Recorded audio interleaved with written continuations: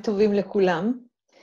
אה, אני טלי חלף, אני עובדת סוציאלית, כפי שאמרה סתיו, פסיכותרפיסטית, מנכ"לית של אור שלום בשלוש שנים האחרונות, ובעצם אה, גדלתי והתפתחתי באומנה, שאני באמת אה, חלק מחיי, מ... לא, לא נגיד מאיזה שנה כדי לא להסגיר את גילי המופלג. לצידי עופר. עופר, אתה רוצה להציג את עצמך? שלום, אני עופר, אני עובד סוציאלי ופסיכותרפיסט, ואני מנהל את המרכז הטיפולי של האומנה בכמעט שבע שנים קרובות. טוב, נושא ההרצאה שלנו היום אה, ייגע בתחום אה, ייחודי מאוד, משפחות האומנה בישראל, אתגרי ההתמודדות שלהם בעת הזאת ואופי הליווי והתמיכה ששירות אה, אומנה במרכז אור שלום מעניק להם, אני מניחה שחלק מהדברים פה יתאימו גם למשפחות מאמצות ולמשפחות בכלל שמתמודדות עם ילדים עם מורכבות רגשית. אני רוצה קודם כל להודות לפולה ולמכון חרוב, אה, שותפים שלנו כבר 4-5 שנים, על ההזדמנות לשים את האומנה על הספה. אה, הקשבנו פה למרבית ההרצאות שהתקיימו במסגרת הזו, וכמעט כולן נוגעות ורלוונטיות לתחום האומנה. זה מעיד יותר מהכל על הרבגוניות והזוויות השונות שמתקיימות באומנה. בישראל יש היום 4,000, כ-4,300 ילדים שחיים ב-3,700 משפחות אומנה ברחבי הארץ. בשנים האחרונות, בעיקר לאחר חקיקת חוק האומנה ב-2016, שקבע העדפה לסידור הילד בקרב משפחתו, מחצית ממשפחות האומנה הן אומנות קרובים, ומרביתן אומנות סבים. האומנה, שליש מהילדים הם ילדים עם מוגבלויות, מוגבלות שכלית, אוטיזם, מגוון נכויות, וגם יש לנו אומנה טיפולית שבה יש ילדים עם מורכבויות נפשיות קשות. האומנה בישראל הופרטה ב-2001, והיא מופעלת אה, מטעם משרד הרווחה אה, ובפיקוחו על ידי חמישה ארגונים הפרוסים בחלוקה גיאוגרפית, מטב, אדנם, שחר, סמט ואור שלום. אז אני אספר לכם ממש בקצרה ובמהירות על אור שלום. אור שלום הוא ארגון ללא מטרות רווח, הוא הוקם ב-1980, והוא עוסק בטיפול בילדים, נוער וצעירים בסיכון שהוצאו מהבית על ידי רשויות הרווחה. אה, הערך המוביל את העשייה של אור שלום הוא מסגרות משפחתיות, ביתיות וקהילתיות, כפתרון מועדף לטיפול בילדים שהוצאו מהבית. נכון להיום אנחנו מטפלים ב-1,400 ילדים, נוער וצעירים, מגיל לידה ועד גיל 27, בתוכניות ומסגרות קטנות. הארגון עושה כל העת בפיתוח שירותים מגוונים ובבניית שיתופי פעולה עבור אוכלוסיות אלה.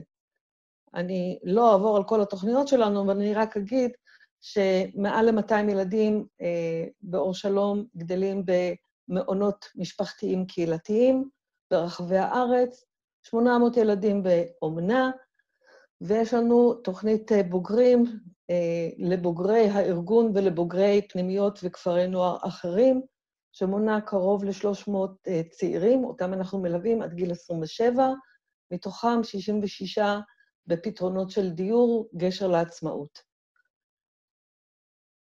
אז נחזור לנושא ההרצאה שלנו, ונספר לכם אה, קודם כל קצת מי הם ילדי האומנה, הוריהם ומשפחות האומנה, ואז אה, עופר ייקח את השרביט וידבר על הליווי שלנו היום. אז מי הם הילדים? רוב הילדים מגיעים אלינו, מופנים אלינו בגילאים 0 עד 9 על ידי לשכות הרווחה, לאחר שהתקבלה ההחלטה על הוצאה מהבית. לעתים כבר אחרי שעברו מעבר אחד לפחות, מרכז חירום, אומנת חירום או בתי מעבר, זמן הטיפול באומנה הוא עד גיל 18, וכשמדובר על ילדים עם מוגבלות או אומנה טיפולית, אז עד גיל 21 ויותר, וחלק ניכר מהילדים נשאר במשפחות האומנה גם לאחר הסיום הפורמלי. ממוצע השהות באומנה לפי סקר שערך מרון ברוקדייל ב-2014 מדבר על 7.2 שנים, וזה ממוצע מאוד גבוה ביחס לעולם, והמשמעות שלו שברוב המקרים זה בעצם בית לחיים. הילדים מגיעים אלינו בדרך כלל רכים בשנים, ובעלי עורף משפחתי חסר או דל מאוד, ומדובר בילדים שעברו לאור חייהם הקצרים פגיעות קשות, פיזיות, רגשיות, אה, מיניות, הזנחה, עזובה, חשופים לאלימות קשה, לסמים, לאלכוהול ולהתנהגויות קיצוניות של ההורים. אז אפשר להגיד על כל הילדים, בלי יוצא מן הכלל, שהם עם רקע של טראומה, לרוב מורכבת ומתמשכת, אה, לאורך חייהם. עיקר הטיפול שלנו בילדים האלה מבוסס על הקשר שהם יוצרים עם משפחות האומנה שהם גדלים בהם, ולכן מדובר בילדים שלמרות הפגיעות הקשות שחוו, לפי הערכת המטפלים, הם מסוגלים ליהנות וליצור קשר משמעותי עם דמויות מטופל... מטפלות חיוביות וקבועות. לפני שנתעמק קצת יותר בילדי האומנה, נציג את השותפים העיקריים לגידול הילד. בספרות אנחנו קוראים לזה משולש האומנה, ואני רוצה קצת אה, לרבע את המשולש ולהוסיף לו צלע משמעותית, שהיא בעצם אה, מנחת האומנה. אז הצלעות הן המשפחה הביולוגית, המשפחה האומנת ומנחת האומנה, או שירות האומנה.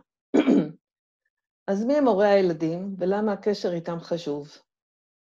בדרך כלל אנחנו מדברים על משפחות שיש להן היסטוריה של קשר עם רשויות הרווחה. ברוב המקרים זה הורים, אפשר להגיד אפילו בכל המקרים, זה הורים שבעצמם סבלו בעברם מהזנחה וטראומות והורות לקויה. רבים מהם הוצאו בשלב מסוים בילדותם מחזקת הוריהם וגדלו במסגרות טיפוליות.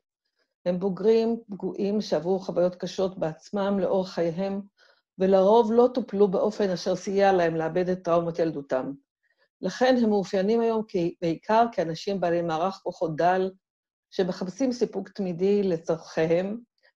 ואליסה ליברמן דיברה רבות על השפעת הטראומה של הורים על תהליכי ההתקשרות של ילדיהם, ושההורות שלהם מתאפיינת באמת בחוסר מסוגלות רגשית ופיזית, ובמקרים רבים החוסר מסוגלות הזאת הובילה להתנהגויות פוגעניות קשות מאוד בילדיהם. ההכרה בחשיבות המשפחה הביולוגית עבור הילד באומנה היא נקודת מפנה ושינוי מהותי בתפיסת העולם שעבר התחום, אני מעריכה בעשור וחצי האחרון. אה, מניסיון ומחקר מצטברים גם בתחום האומנה וגם בתחום האימוץ, הדגישו באופן גובר והולך את המרכזיות של ההורים בחיי הנפש הנוכחיים של הילד, על אף היותם הורים מזניחים, מתעללים או נעדרים רגשית. וייסברג אה, כתבה ב-2001, אה, אחר שהיא חקרה את מצבם הרגשי של הילדים בהשמה חוץ-ביתית, והיא מצאה שילדים שמופרדים פיזית מבני משפחותיהם לא מתנתקים מהם רגשית ונפשית, ממשיכים להעלות אותם בדמיונם, במיוחד אצל ילדים קטנים, הם נוטים להאשים את עצמם בעיבוד הקשר עם ההורה המתעלל, ונוטים גם להדחיק זיכרונות של מאורעות אלימים, ומופיעים אצלם געגוע לדמות אידיאלית ופנטזיונית, ובעצם שימור הקשר עם ההורים יכול לסייע לילדים לגבש דמות מציאותית יותר של ההורה, דבר שימנע תפיסה מכחישה ומעוותת של המציאות, וישמור על הילד מפני הזדהות עם ההורה המתעלל, ומפני שחזור ההתנהגות האלימה שלו לכשיגדל. אנחנו יודעים גם כן ששימור הקשר לאורך זמן יכול להפחית תחושות של נטישה, אבל ודיכאון שמלוות את הילדים האלה בדרך כלל בהשמה החוץ-ביתית. כך או כך, המפגשים ההורים הם נבנים בעצם תמיד במידת המעורבות ואיכות הקשר בין ההורים לבין הילד, והם נעים על ציר מגוון ורחב מביקורים קצרים במרכז קשר שמלווים על ידי אנשי מקצוע בקצה האחד, ועד לשהייה של הילד בבית ההורים ללא פיקוח למשך ימים אחדים בקצה השני. באופן פרדוקסלי, אנחנו רואים כי אומנה של ילדים שנמצאים בקשר שוטף עם ההורים שלהם, היא בעלת סיכויים טובים יותר להחזיק מעמד לאורך זמן, מאשר אומנה שהקשר הזה אינו קיים. בעיקר כשאנחנו מדברים בגיל ההתבגרות או לקראתו. גיל שבו שאלות של זהות ושייכות מעסיקות את הילד באופן גובר. אנחנו רואים שיש חשיבות בהקשר הזה להורים שמקבלים את האומנה ויכולים דווקא בזכות האומנה לממש את המקסימום מההורות החלקית שלהם, ושיש בכוחם לתת, ושהמשפחה האומנת נותנת לה מרחב. לעומת זאת, הורים שרואים באומנה גורם פוגעני ודוחה, ודוחה ועסוקים במאבק שמה, הם שמים את הילד בפיצול בלתי נסבל. אז קצת מי עם משפחות האומנה שלנו. מעבודת השדה נראה כי אין משפחה אומנת אחת דומה לאחרת. הקשת הביניים לאומנה רחב מאוד, וגם המאפיינים הסוציו-דמוגרפיים. אפשר לומר שהמאפיינים משקפים את כל גווני ומגזרי החברה הישראלית. האומנה עצמה היא רב-גונית, ויש הבדל עצום בין משפחת אומנה המשמשת כאומנת חירום, שאליה צונחים ילדים גם באישון לילה, לבין אומנה אה, שילדים מגיעים אליה באופן מסודר ומובנה, עם ועדת אה, תכנון טיפול ותוכנית טיפולית ארוכת טווח ככל האפשר להמשך חייהם. כך נמצא אומנה לילדים עם מוגבלויות, אומנה טיפולית לילדים עם רקע נפשי ופגיעות רגשיות מורכבות, אומנת חירום, אומנה רגילה, ובתוכה חלוקה בין אומנה זרה לאומנת קרובים. אנחנו גם נראה הבדל בתוך מגוון המשפחות, בין משפחות מכמה סוגים. יש משפחות שמתייחסות לילדים באומנה כאל ילדיהם לכל דבר ועניין, וזה כמעט אימוץ, במיוחד כשהקשר עם ההורה המאוד דל אה, עד בלתי נמצא, וזה כמעט אה, מה שאנחנו קוראים אומצה. אה, לעתים המפגשים הם כל כך ספורדיים עם ההורים הביולוגיים, שבאמת אה, זה הבית של הילד. יש גם הורי אומנה, לעומת זאת, שמתקשים לקבל את המקום של ההורה הביולוגי ומייצרים בעצמם פיצול בלתי אפשרי. אה, ויש משפחות שרמת הפתיחות אל ההורים הביולוגיים, אל החיים האחרים, אל המוסדות השונים ואל גורמי הרווחה, והם בעצם מהווים עוד גורם טיפולי חינוכי לילד מתוך מערכת שלמה. אנחנו יודעים שילדים עשויים לחוות רגשות שונים בכל מגוון הקשת במשפחות השונות. אז מהו תפקידו של מנחה האומנה? מנח... אני אקרא לה בלשון נקבה, לצורך העניין, למרות שיש לנו גם uh, מנחים ממין זכר. Uh, אז מנחת אומנה היא באמת תפקיד ליבה שסביבו נעה העבודה המשמעותית, ובדרכה מתממשות uh, מטרות האומנה. התפקיד מתאפיין בכך שהוא מבוסס על דמות מקצועית אחת, עובדת סוציאלית הנוגעת באספקטים רבים ומגוונים בחיי הילד. המאפיין הזה מדגיש את הממד של הבדידות והאחריות הגדולה שיש בתפקיד. מנחת אומנה, כשמה כן היא, תפקידה להדריך, להנחות את ההורים האומנים בדרך החתים של האומנה, תוך שהיא פועלת בשותפות עם הורי האומנה למציאת דרכי התמודדות ופתרונות מתאימים לילד. לצד זה, מנחת האומנה משמשת גם מול ההורים האומנים כ-case manager, וככזה היא גם בעלת תפקיד פיקוחי, ומוטלת עליה האחריות לבדוק כל העת את מצבו של הילד באומנה, ולוודא שהוא מקבל את הטיפול המיטבי. אנחנו יכולים לדמות את היחסים בין מנחת האומנה להורים האומנים כריקוד עדין, שבו הרקדנים נדרשים להתאים את עצמם זה לצעדי זה, כדי להגיע להרמוניה. מנחת האומנה משמשת כאחראית על, אך ההורים האומנים הם הגורמים שמכירים את הילד שבטיפולם ברמה האינטימית ביותר, ולעיתים אף יותר טוב מכל הגורמים בחייו, ולכן הם שותפים שצריך להקשיב ולהיוועץ בהם. נדרשת ממנחת האומנה יכולת ראייה רב-תרבותית והכלה של דפוסים משפחתיים לעיתים שגם נוגדים את השקפת עולמה, וכל משפחה בעצם מתנהלת באופן הייחודי לה בהתאם למוצא, לדת, לגיל, להיסטוריה המשפחתית וכולי. בזכותה וחובתה של מנחת האומנה להתערב ולהצביע על הצורך בשינוי כשהיא מזהה אותו. היא צריכה להיות נאמנה כל הזמן לצורכי הילד ולבקש את ההתאמה של הורי האומנה לצרכים האלה, אך היא לא יכולה לדרוש שינוי כולל בדפוסי המשפחה, גם אם, אם הדבר אינו נדרש כמובן. זירת העבודה של מנחת האומנה היא בעיקרה בבית המשפחה. וסיטואציית הביקור בבית המשפחה באמת מורכב ומעלה שאלות רבות. איך נכון להיכנס לבית, איך נכון לנהוג במקום שבו מנחת האומנה היא בעצם אורחת, כיצד יכולה במקום כזה להנכיח את סמכותה. במהלך העבודה עם הורים אומנים עולים גם לא פעם אה, תכנים אישיים מחיי ההורים האומנים שאינם נוגעים ישירות לילד. אה, הדבר נכון גם במצבים שיש יחסים קרובים בין מנחת האומנה לאומנים, והם בוחרים לשתף אותה בענייניהם האישיים, וגם כשהיא מזהה כל מיני עניינים מתחום הפרט שמשפיעים על תפקוד ההורה האומן. בכל מקרה, היא אמורה להתערב רק במצבים הקשורים בטובת הילד, שבאומנה ובצרכיו, והדרישה כלפי הורי האומנה היא שהדברים צריכים להתבצע תוך הכלת קשייהם ותמיכה בהם מצד מנחת האומנה. גם הקשר של מנחת האומנה עם הילד הוא לפעמים מורכב. כניסתה של מנחת האומנה לבית האומנה היא כמו טראומה רמיינדר, היא מפגישה את הילד עם מציאות חייו, דבר שהרבה פעמים אינו קל עבורו, ולעיתים הילד מעדיף לשייך את עצמו באופן בלעדי למשפחה האומנת ולמחוק את השתייכותו הראשונית ואת סיפור חייו. ולכן היא צריכה לעשות פה עבודה אה, עדינה מאוד של יצירת קשר עם הילד, גם כשהוא לא משתף איתה פעולה, ולהעמיד את עצמה לרשותו ולהפגין נוכחות למולו, כשהיא מאפשרת לו ליצור איתה קשר ולהיעזר בה על פי יכולותיו וצרכיו, ובעצם גם להחזיק עבורו את הסיפור, את הרצף, את ההקשרים, וכמה שיותר את חלקי עולמו. אה, נעבור קצת אה, להציג את אה, ילדי האומנה מעין מחקרית ותיאורטית,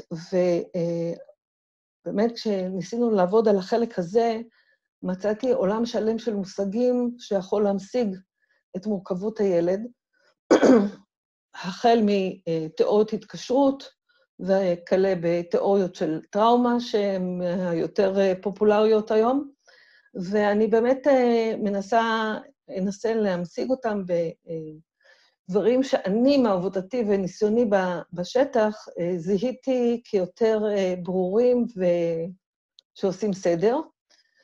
בעצם נקודת ההתחלה הבסיסית, כשמדברים על ילדי אומנה, שכאבו אמרו, עברו פגיעה ראשונית, היא סביב ההתקשרות.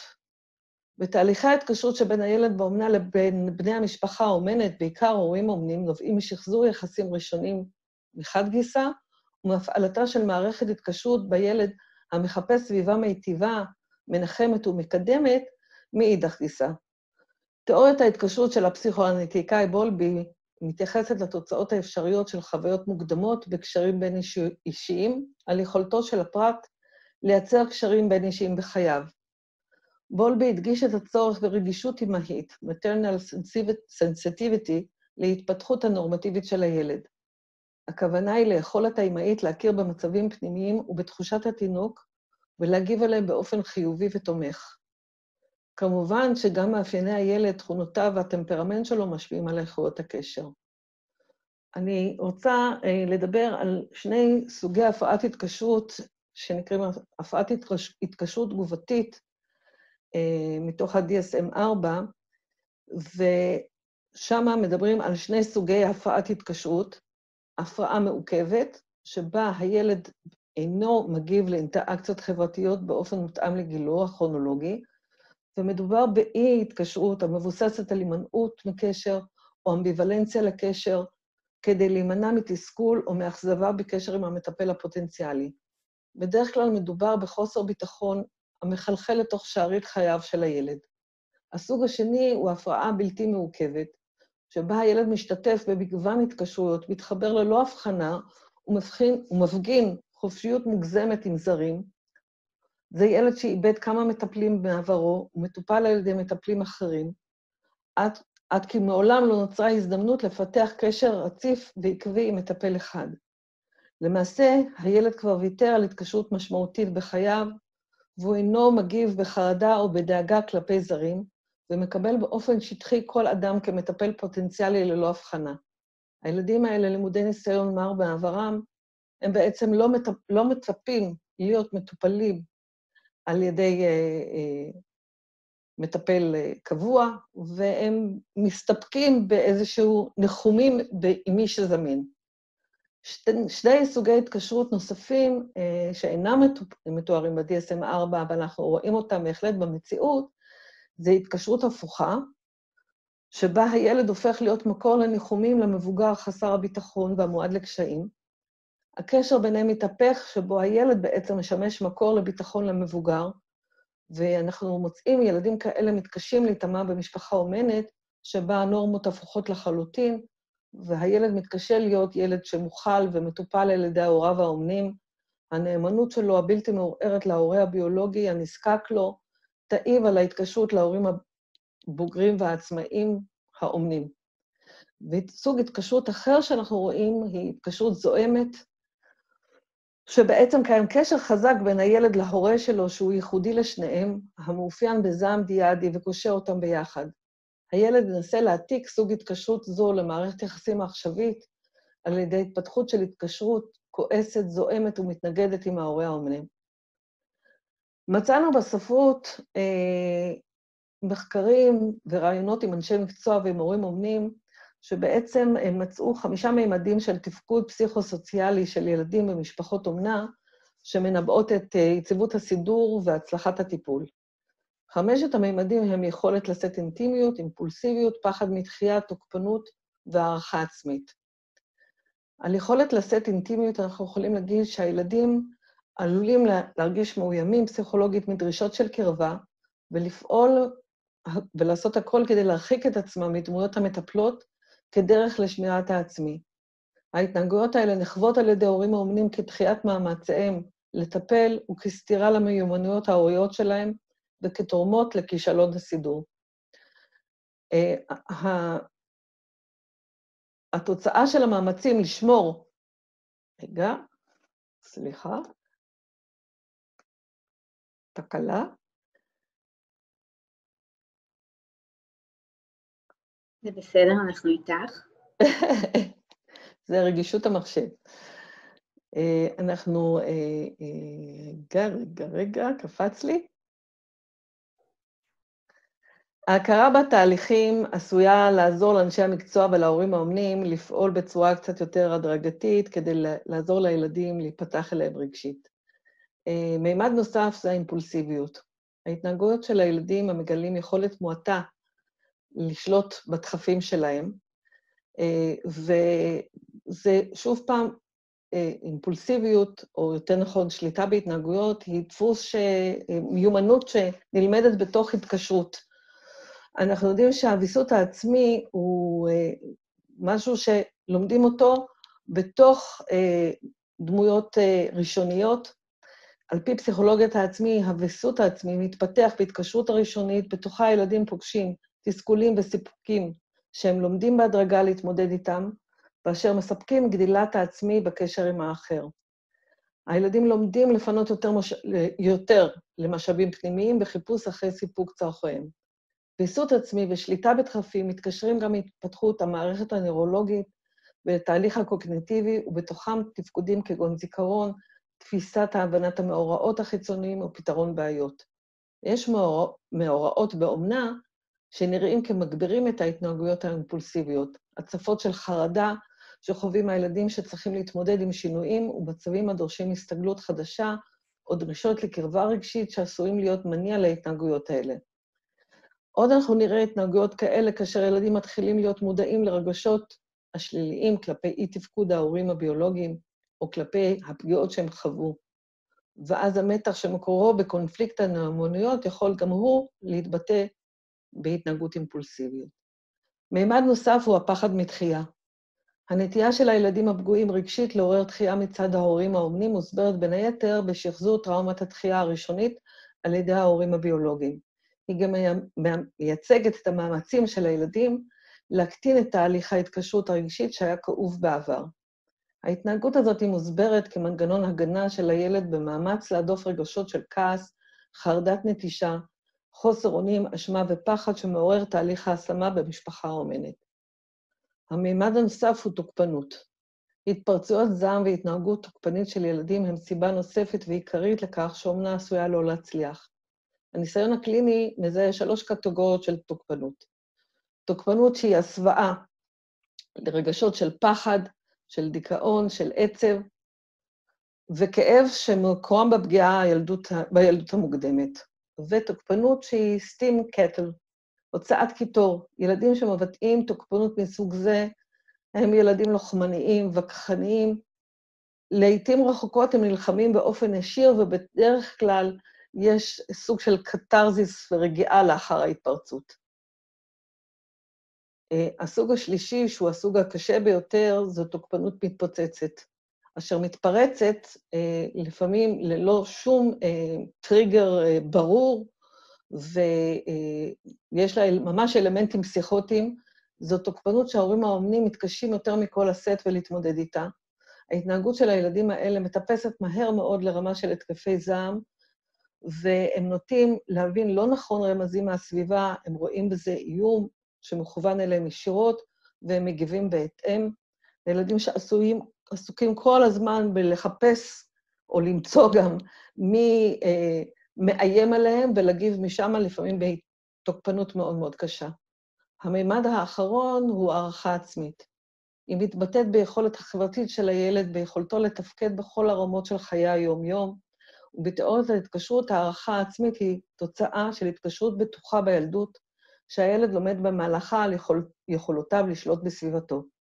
חוויות ההצלחה וההישגים בילדות עוזרים לפתח הערכה עצמית חיובית, ויש כמובן קשר בין יכולות, יכולת חברתית, רמה גבוהה של הערכה עצמית, לבין רמה נמוכה של בעיות התנהגות. הילדים באומנה מגלים לרוב הערכה עצמית נמוכה, שמתבטאת בחוסר עניין בלמידה, בקשיים וביכולת ליצור קשרים חברתיים מתאימים, ברגישות מוגברת מול ביקורת ובהתנגדות להשתתף בפעוליות חברתיות. הורים אומנים שמצליחים לגלות סבלנות כלפי ההתנהגויות האלה, להבין אותם כביטויים של הערכה עצמית נמוכה, ולהימנע מדרישה שעלולה להביא להתנגדות, לקונפליקט ולמלחמה, שבה הילד בעצם מסתיר את הרגשות האמיתיים שלו, הוא בונה לעצמו איזה false self, אמ, הם אלה שיצליחו יותר. אמ, אני חושבת שקיבלתם תמונה מספיק ברורה של מי הילד, מה המורכבויות, מה החלקים אה, והאתגרים שבשגרה המשפחה האומנת צריכה להתמודד איתם. ועכשיו אני אעביר את השרביט לעופר, שיתאר קצת את ההתמודדות של משולש האומנה בעת הזו, שבה בעצם כל הטראומה, הרימיינדרים מתעוררים לחיים במלוא עוצמתם. אז עופר, השרביט אליך. עופר?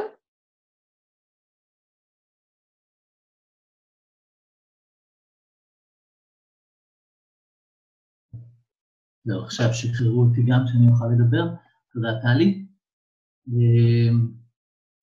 אוקיי.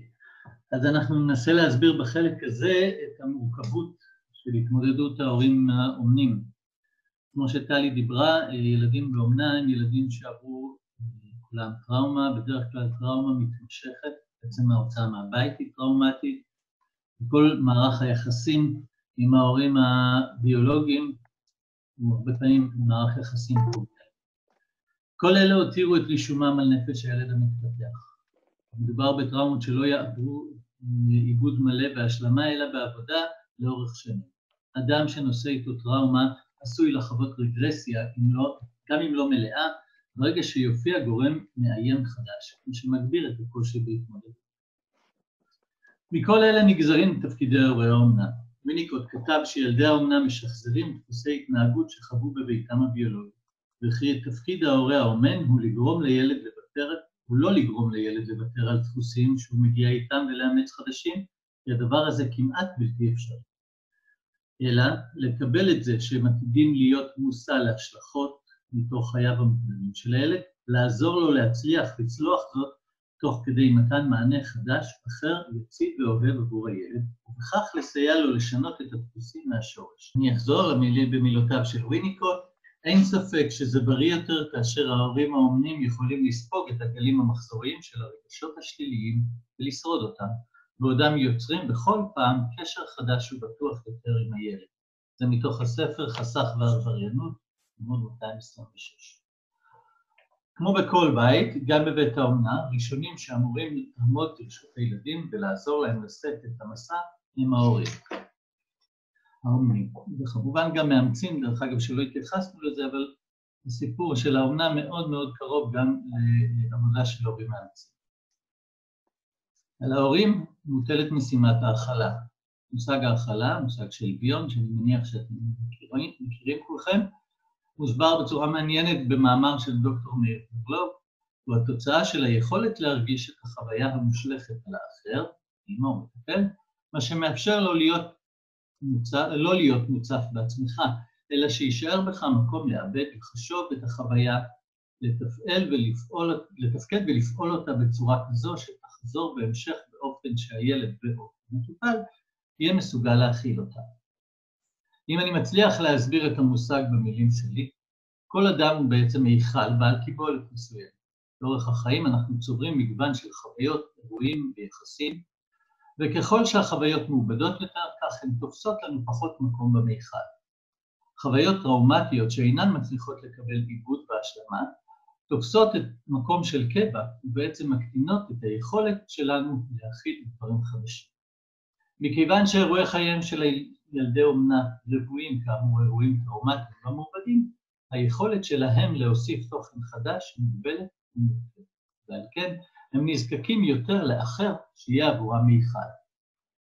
לאור זאת, התהליך הוא שילדים אלו מייצרים עוד ועוד השלכות, והמושאים המרכזיים כמובן להשלכות הם ההורים האומנים, ולא פעם גם האחים, האחים הקולטים. בעולם אידיאלי, יש לאותם הורים די מקום במיכל כדי להתמודד עם שלל ההשלכות שבשגרה, וגם עם ההשלכות שעולים בזמנים מורכבים מהם. לצערנו, אנחנו חיים בעולם מורכב. גם ההורים האומנים, המאמצים, וגם אנחנו באים עם מיכל שהוא מוגבל בגודלו. כולנו עברנו דבר או שניים בחיים שמשפיע עלינו. המתח הנוכחי משפיע, וגם אלה שיש להם יכולות הכלה גבוהות מאוד, לא בהכרח יכולים להכיל את כמות ההשלכה שיש לילדים מה עושים? כשנולדה בתי הבכורה, ניסיתי להבין מה תפקידי החדש בבית. הקסם הקטנה ואימא שלה מתמזגות להם יחד, מה אני אמור לעשות? עם הזמן הבנתי שבעוד שאשתי מפנה מקום במיכל שלה עבור הבת, המיכל שלה מתמלא, והיא זקוקה לאחר שיפנה לה מקום במיכל שלה. כך הבנתי שלפנינו לא משחק של שניים, שליך ומיכל, אלא שרשרת, וככל שהשרשרת חזקה יותר, היכולת להכיל בסופו של דבר גדלה. במקום שבו השרשרת נגמרת, שם נקבע גודלו של המיכל. אני אסביר עם דוגמה. הילד משליך על האם. האם מגיעה לקצה גבול יכולת ההכלה, ולכן יש לה שתי אופציות. או שהיא תחזיר השלכה על הילד, ואז ייווצר מעגל חרדה. או שהיא תשליך חלק מהדברים על האב. אם האב מצליח להכיל את האם, ייווצר רגיעה אצל האם והיא תכיל את הילד. אם לא, שוב תהיינה שתי אפשרויות. או שהאב ישליך את ה... יחזיר את ההשלכה הלא מעובדת אל האם, ואותו מעגל יגדל שוב, או שהוא ימצא עבור עצמו דמות מכילה שעליה יוכל להשליך, ואז היא זו שתסייע בהכלת החרדה. בנקודה הזאת אני מתחיל להסביר חלק משמעותי לתפקיד מנחת האומנה. המשימה המונחת על כתפי ההורים, האומנים, היא כבדה מנשוא, ולכן אחת התכונות המרכזיות של מנחות אומנה היא היכולת להעמיד את עצמם ברשות ההורים האומנים כמיכל בטוח. שעליו יוכלו להשליך מתוך תחושת ביטחון את החרדה ואת הבלבול המושלכים עליהם מילדי העונה, גם מהילדים הביולוגיים שלהם. זו משימה לא קלה, להיות זמין בעיקר להשלכות, לקבל את האימה מתוך אותה פתיחות ונכונות לקבל ולהיות מסוגלים לחשוב ולאבד את אותה חרדה כדי להחזיר אותה מבוסתת ומוכלת בחזרה להורים. לא פעם, סליחה, כדי שההורים יצליחו לעשות זאת, מנחת האומנה צריכה להיות פנויה עבורה. לא פחות חשוב מכך, גם מנחת האומנה נבחנת במקום שבו הצפה גדולה מדי. האם היא תצליח להיעזר בהדרכה לצורך הכלה ולהימנע ככל האפשר מהדיפה של השלכה, מה שהרבה פעמים קורה כי זה לא אנושי שלא יקרה. אחרי שהבנו את הרעיון הזה, נראה איך הדבר בא בפועל. מנחות האומנה נדרשות להיות עבור ההורים דמות משמעותית שמנסה לראות אותם כמכלול ולא רק כתפקיד הורי אומנה. גם להם יש היסטוריה, הווה, חרדות, מורכבויות בעבודה וכדומה. מערכות היחסים, מערכת היחסים צריכה לשאוף להיות כזו שההורים ירגישו שהם יכולים לשתף אותנו, להיעזר בנו בכל מורכבויות החיים.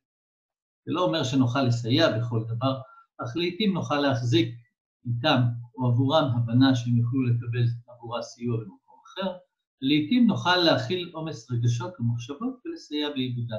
וכך נפנה מקום במיוחד שלהם להשלכות שאיתם יוכלו להתמודד לבד. בימים אלה, בהתאם להנחיות, רוב השיח נעשה בטלפון, בווידאו, בזום, אבל במקרים לא מעטים אנחנו נדרשים להגיע לבית האומנה ולתת מענה פנימי. עקרונות לעבודת הנחיית האומנה שיש לאמץ בעת זו הן יציבות, קשר יציב ושוטף, זמינות של מנחת האומנה להורים, הקשבה ופניות להפנות אה, מרחב זמן ללא הפרעה, מתן מענים קונקרטיים לצרכים, אה, מתן כלים להתמודדות, הרחבת הקשר בין אישי לאפשר כמה שאפשר קשר של שיתוף ושל דין מחובר, טיפוף רגשות ללא שיתופיות, ומנחת האומנה, אה, שהעמדה שלה חשוב שתהיה זמינה לצורך שיגיע מההורים אה, למיכל שיכיל אותה ושתהיה קשובה. כדי שההורים האומנים יוכלו להשליך עליה את חרדה. היא תוכל אז לסייע בעיבוד החרדה והמתח ולהחזיר להם את הפניות הרגשית והמענה לשאר בני המשפחה. נקודה קריטית בהבנת אומנה זה שמי שמאמין בפתרון אומנה, מאמין שחלק מרכזי בטיפון של הילד נעשה בתוך היחסים החדשים, בתוך מערכת המשפחה, ועל כן תפקיד הנחיית האומנה הוא לאפשר מקסימום פניות רגשית אצל ההורה כדי להיות מסוגל להכיל את הילד. סליחו לי שנייה. אוקיי. המשבר, התקופה המשברית הזו שאנחנו נמצאים בה, היא בעצם מבחינתנו גם אפשרות אה, להשתמש בה ככלי טיפולי. מכיוון שההתמודדות המרכזית של הילדים שלנו היא התמודדות עם אה, משברים והתקשרות לאורך החיים. לדוגמה, משברים וטראומות אה, מאופיינים לא פעם בקושי לשוחח ולגעת. ככל שהפגיעה קרובה וכואבת, כך גם הקושי לדבר עליה. המשבר הנוכחי, מכיוון שהוא נחלת הכלל, ומכיוון שאין בו אשמים והשיח בציבור הרחב מעודד שיחה ישירה עם הילדים על המצב, נוצר modeling חשוב שלא תמיד יכול, לא תמיד נמצא אה, בעת רגיעה. מנחות האומנה מדווחות שהדיאלוג בבית סביב רגשות שונים שעולים במשבר האומנה מביאים הורים אומנים וילדים לשיח פתוח. מכיוון שלא פעם חרדה או משבר נוכחי מזכירים לנו לחרדות ומשברים מהעבר, יש פתיחות ולגיטימציה לשיח על משבר. יותר ילדים מעלים מחשבות, זיכרונות ושאלות שעלו עליהם עבור עצמם, שעולים מעברם, יש יותר שיח על העבר. המשבר מביא איתו צורות של מתח וחרדה, להתנהגות שהילדים מכירים לא פעם מהבית הביולוגי. השחזור של מה שקרה שם קורה היום גם בבית המשפחה. כך נוכל לבצע אה, חוויה מתקנת. אה, לדוגמה, כמו בכל משפחה, קורה לא פעם שההורה מתפרץ, כועס ומגיב באופן לא רצוי. בשיחה עם מנחת האומנה הוא נעזר ללמוד לזהות את ההתנהלות שלו ואת ההשפעה שלה על אחרים. עיבוד שלא ממקום שיפוטי, אלא מקבל ומכיל, יאפשר להורה לגשת לילד ואיתו לעשות עבודת שחזור מיטבה. לקחת אחריות על החלק שלו, לזהות את הקושי של הילד מבלי להיות שיפוטי. זה בפועל תהליך שבו גם הילד יכול לחוות חוויה מתקנת, לראות איך מבוגר אחראי ומיטיב להתמודד עם מצבי חרדה ועיבוד שליטה, נעזר באחר לצורך ויסות עצמי. נושא נוסף שמאפיין את התקופה הוא השינויים. על אף שהתקופה נראית אחידה, היא בעצם מחולקת לימי, ש... לימי שגרה ולימי שינוי. בכל פעם שהממשלה מחליטה על החלטות חדשות ששופרות את השגרה, יש עלייה בלחץ. רוב השיח אז נועד להבין מהו המצב החדש ואיך מתבקשים להתמודד. במשפחות שבהן יש שיווי משקל תקין, קל לחזור לאיזון חדש. במשפחות מורכבות שבהן יש ילדים שמתקשים לווסת את עצמם, ילדים ברמת חרדה גבוהה, או כאלה שמתערבים מאוד משינוי, הרבה יותר קשה לחזור לאיזון חדש. בעיקר בימים מעין אלו כשהשינויים אינם ברורים, הם עולים השכם והערב, אי הוודאות רבה. תפקיד מנחת האומנה הוא לעזור בהכלת המתח שנוצר סביב השינויים. הכוונה בהבנת המצב החדש, יצירת כלים ופתרונות מותאמים לאופי המשפחה, לשפה ולסיטואציה הייחודית המשפחתית, כדי לייצר שיווי משקל חדש. גם כאן תהיה למידה לילדים של התמודדות עם שינויים והפנמה של הורות יעילה יותר. משבר הקורונה הביא איתו גם את חובת הבידוד המשפחתי. דימוי שהביאה דוקטור נוגה נאמן באחת ההרצאות שנעשתה במסגרת הזו של חרוב במשפחה כסיר לחץ, הרי שבסיר לחץ נעשה בישול מהיר שמשנה צורה, טעם ומרקם של התוכן המתבשל. סלחו לי רגע. אוקיי. כך, גם במשפחות שאנחנו מתמודדים איתן. החובה לשהות יחד מחייבת תנועה בתוך המשפחה שאינה מתרחשת בבישול היומיומי. דוגמה בולטת, אנחנו רואים אצל ילדי משפחה, קולטים ונקלטים. סיר הלחץ יוצר מפגש אינטנסיבי שיכול להוביל לכל מיני מקומות. דוגמה אחת, אני אציג זוג אחיות קולטת ונקלטת, שהחיבור ביניהם היה קשה מאוד עוד בטרם המשבר. הן נאלצו בתקופה הזאת לשהות יחד, לחלוק דברים וגם להיות אחת בשביל רעותה. אין, באין חברות מבחוץ. המצב הופך להיות קשה יותר. בשלב ראשון מדווחים הורי האומנה על מריבות מרובות שהיו מקשות על הבית. בשיחה עם הורי האומנה נעשה ניסיון לסייע להורים שלא להיכנס לתוך המאבק המפוצל הזה, ולא להיות בצד זה או אחר, אלא להיות מיכל מיטיב עבור כל אחת מהבנות, ובעזרתו לסייע להן ללמוד לראות את האחרת, מבלי להרגיש איום שהיא עצמה עשויה למחר. ואכן, ככל שהשגרה התמשכה, נראה היה בבית כי הילדות מוצאות מרחב, כל אחת לעצמה, כל אחת עבור חברתה. והתבשיל שנוצר בעקבות הבישול המהיר יצר איזון בריא, חדש וטעים בין הבנות. נראה שסוף סוף מתחיל חיבור שהוא טוב מזה שהיה אי פעם. במקרים אחרים אנחנו רואים שינוי של ממש בדרך שבה אחיות ואחים בוגרים, קולטים, הופכים להיות כוח עזר חשוב להורים. זה בולט בעיקר עם ילדים קשיי ויסות. אחת הדוגמאות שהייתה לנו למשפחה שבה שני ההורים עובדים, ושניהם לקחו על עצמם אה, להתמודד עם הילד ולנסות איזושהי אה, חלוקת זמנים. מה שקרה זה שה... סליחה, מה שקרה זה שההורים הפכו עצמם להיות חסרי סבלנות. הבנות הגדולות לקחו אחריות, ביקשו להיות שותפות בחלוקת האחריות על האח שלהן, כך נוצר שגם הקשר ביניהן, בין האחיות הגדולות לילד האומנה הלך והשתפר, וגם ההורים הפכו מבוסתים יותר ויותר. בדוגמה הזאת ראינו הורים שיודעים להתמודד ביום-יום היטב עם הילדים, אבל הופכים מוצפים בעצמם בשל העומס והצפיפות.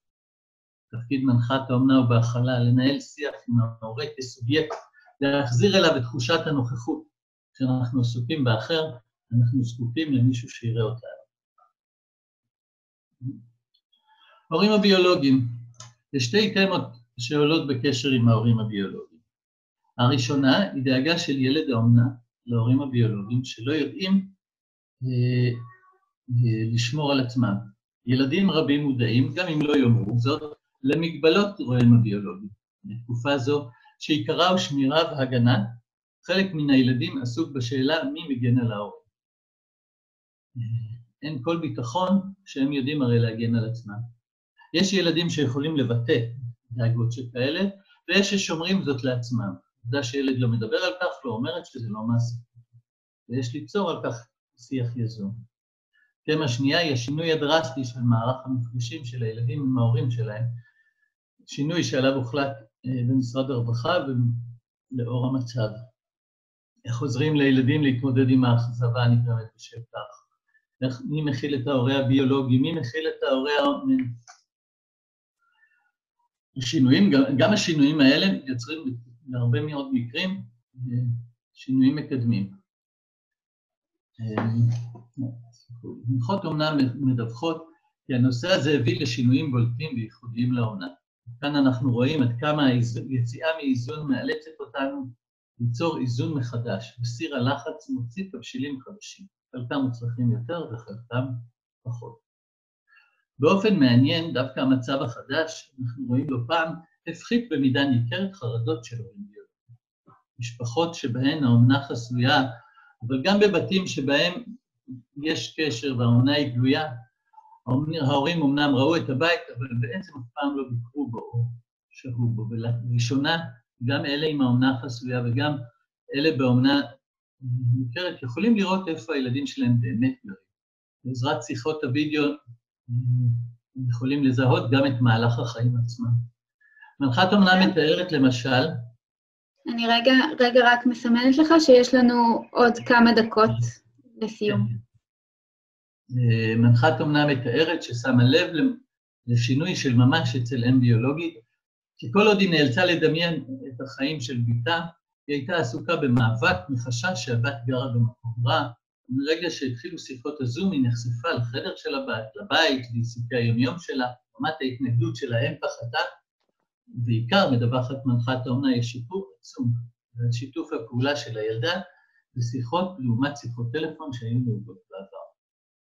במקרה אחר ראינו אה, אם אומנה שניסתה, שניסתה עזרה לתווך בשיח בין תינוק בן שנתיים לאם ביולוגית. התיווך הפך לשיחה בין האימהות, כשהילד אמר משהו והאם הביולוגית ביקשה תרגום.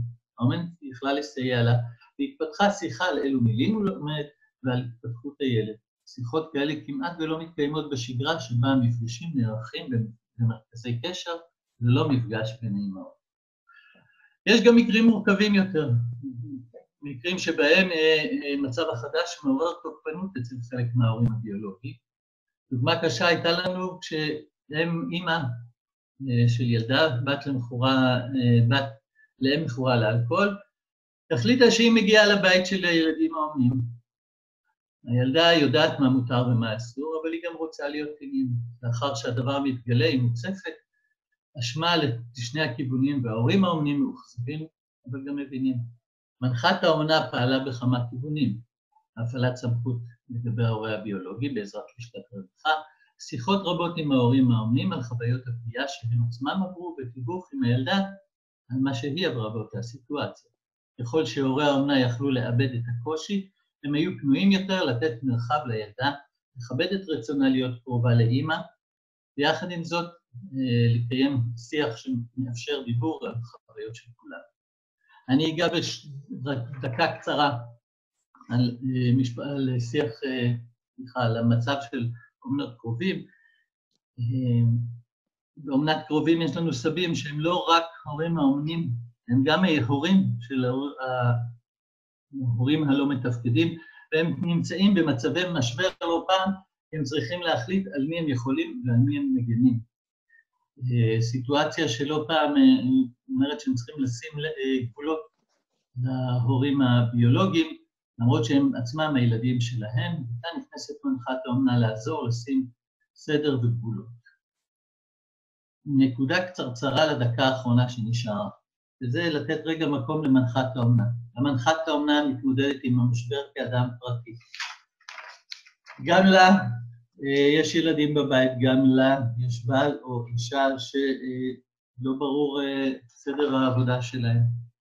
גם להם יש אה, הרבה אי-ודאויות לגבי ההורים שלהם, הם שנמצאים בריחוק. איך אנחנו יכולים לעזור להכיל את המחילות? אנחנו מנסים לספק להם מיכל שמורכב משלושה מרכיבים מרכזיים.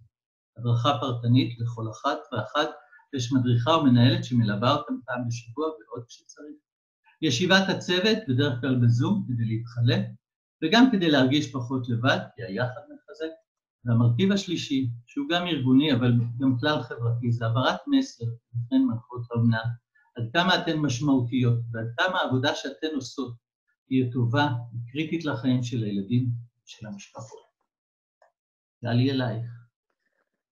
אני באמת רוצה אה, לסיים ולהקדיש את השיר למנחות האומנה. אה, זה שיר שכתב גיא עינת, שהשתתף פה באחד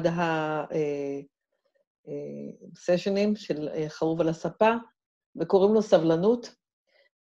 אם אתה רואה באישון ליל, מבעד לישנב חדרך, צל של עץ, דע כי יש שם עץ, ויש מי שמחזיק פנס. אם אתה הוזה באישון בידוד מחלון נפשך, חבלה, דע כי יש שם אדם השומר לך חיבוק. אז אני שולחת, אני ועופר, שולחים לכולכם חיבוק אחד גדול. תודה רבה, טלי ועופר. באמת שיר מרגש, ובאמת uh, נגעתם בנקודות מאוד משמעותיות. Uh, אני מזמינה את כולם ככה לכתוב עוד uh, שאלות, uh, אם יש בצ'אט. ובינתיים יש כאן שאלה שנשאלה, לגבי אה, ילדה אה, בת שש שנמצאת באומנה כבר שלוש שנים, אה, שנפגעה בצורה קשה מהאבא הביולוגי שלה, והיא עכשיו עושה איזושהי אידליזציה, ומאוד מאוד רוצה, של האבא, ומאוד מאוד רוצה להיפגש איתו, מה שיכול לעורר איזושהי פוסט-טראומה, ואיך מתמודדים עם הפנטזיה ועם הרצון לפגוש את האבא. אני מאמינה שזאת, זה מעניין לשאול האם יש משהו בתקופה הזו דווקא שהציף את, ה, את הרצון הזה, או שזה משהו שקרה בלי קשר לתקופה, אבל אני מעבירה אליכם את השאלה. טוב, אני חושבת שזה נשמע שאולי הקורונה הוסיפה פה משהו, אבל לאו דווקא. אני חושבת שזה מתייחס מאוד למה שדיברתי עליו, על הנושא של חשיבות הקשר, גם בהקשר של המציאות אה, המעוותת שיכולה לבצר אם אה, לא נעשה הקשר הזה. אבל כמובן שצריך לבנות אותו, ובעיקר אה, לבנות את הנרטיב הנכון, ולראות אם האבא בכלל מסוגל לבנות את הנרטיב, אה, בתוך אה, אה, קשר דיאדי כזה, שחייב להיות מלווה ובתוך טיפול. עופר, אתה רוצה להוסיף משהו? אני אומר שזה נורא נורא טבעי ונורמלי שהילדים רוצים לחזור להורים שלהם.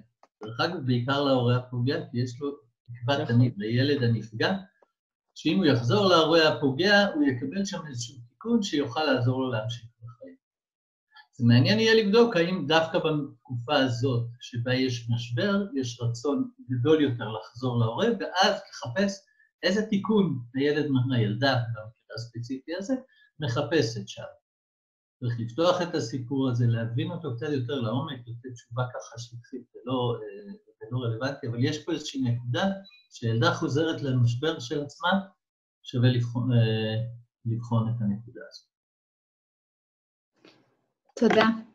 מי שביקש פה את מילות השיר, הן מופיעות גם במצגת.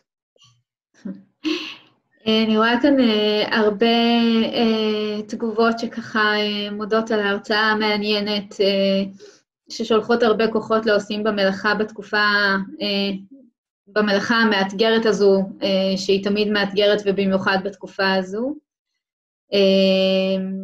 באמת יש כאן הרבה תודות, וגם על ההתייחסות אה, לצוותים, אה, לצוותים של הנחיית אומנה בפרט. אה, אני מזמינה להעלות עוד שאלות, יש לנו ככה עוד חמש דקות, ובינתיים, אם לא עולות שאלות, אז אני רוצה להזמין אתכם ככה, אם יש עוד איזשהו סיפור שהיה בתקופה הזאת שהייתם רוצים לשתף בו, עוד מחשבות שיש, שעולות ככה בימים האלו בהמשך לדברים שהצגתם. סתיו, אני רק אה, אוסיף ואגיד אה, שאולי זה עוד מוקדם מדי, אבל אה, כדאי שנתחיל לאסוף מחשבות גם על דברים חדשים שלמדנו תוך כדי התקופה, כמו למשל הנושא של החזקת הקשר עם ההורים הביולוגיים, באופן קצת אחר. במיוחד כשמדובר באמת באומנות חסויות. איך בכל זאת אה, נותנים להורים אה, איזשהו אה, תחושה של איפה הילד שלהם נמצא, שזה הרי קשה מנשוא לא לדעת איפה הילד שלך נמצא ומי מטפל בו.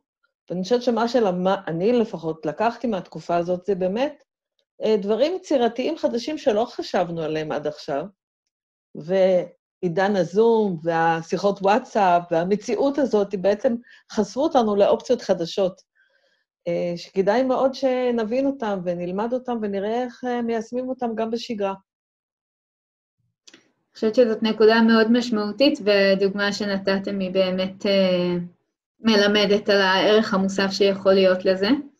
אה, אני שמחה שאתם ערים לזה, אני מקווה שעוד אנשים שעוסקים בזה יהיו ערים לאפשרויות האלה. אה, עוד משהו שאתם רוצים להוסיף? חושב שבעיקר חשוב להגיד למנחות האמנה ולמנהלות, כמה שהנה אני שומעת את זה, זה גם מודעים לעומס הבלתי נגמר הזה שהן נמצאות, לסחוב גם משבר כללי וגם משבר בתוך האומנה, זה מאוד מאוד כבד ומאוד מאוד מורכב, וכמה זה מאוד מוערך, כמה משפחות מאוד מעריכות את זה, אני חושב. אני חושבת שיש גם משהו בהתמודדות אה, באמת אה, עם, המצ... עם המציאות המשתנה בתדירות גבוהה, וגם עם זה שאנחנו הולכים כביכול לכיוון של איזושהי חזרה לשגרה, אבל השגרה הזאת לא תהיה כל כך שגרתית, עושה רושם שאנחנו הולכים עוד לשהות במצב שונה ממה שאנחנו רגילים אליו תקופה מסוימת. ואני מאמינה שגם אה, בקרב אה, מנחות האומנה ומשפחות האומנה זה משהו שככה עוד יילמד ועוד אה, יצטרכו להיות תהליכי הסתגלות מתמשכים. אז אני חושבת שבאמת הצבעתם על נקודות משמעותיות בדרך שעברתם ועברנו עד עכשיו. וכנראה שאנחנו נספיק לאסוף עוד קצת, ונראה, באמת, אה, אני חושבת, טלי, שמה שאמרת ככה על ה... לאסוף את הדברים גם uh, במחשבה, מה אנחנו לוקחים uh, חיובי מתוך המצב הזה ומה uh, ישרת אותנו מתוך הכלים שגילינו בתקופה הזאת, היא מחשבה מאוד uh, נכונה וחשובה. אני רוצה רק לסיום באמת uh, לאחל רמדאן כרים למנחה ומנחות האומנה ולמשפחות האומנה, שיש להם באמת חודש מאתגר בפני עצמו, ובטח שבטח בימי קורונה. אה, גם את זה נצטרך ללמוד, איך זה משפיע ומתחבר ביחד. אה, נכון. תודה רבה למכון חרוב על ההזדמנות באמת לשים את אה, האומנה על הספה. מגיע לה הרבה יותר מאשר ספה, מגיע לה סלון, בית, ארץ, מדינה שלמה. תודה רבה לכם.